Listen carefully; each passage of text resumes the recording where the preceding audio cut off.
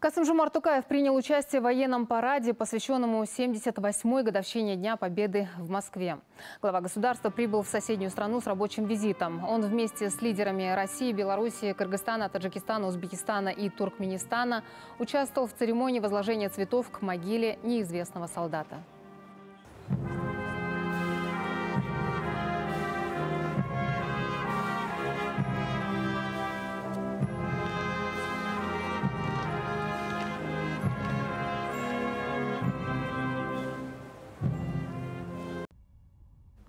Ранее Касымжумар Тукаев посетил Ржевский мемориал советскому солдату в Тверской области и почтил память павших воинов минутой молчания.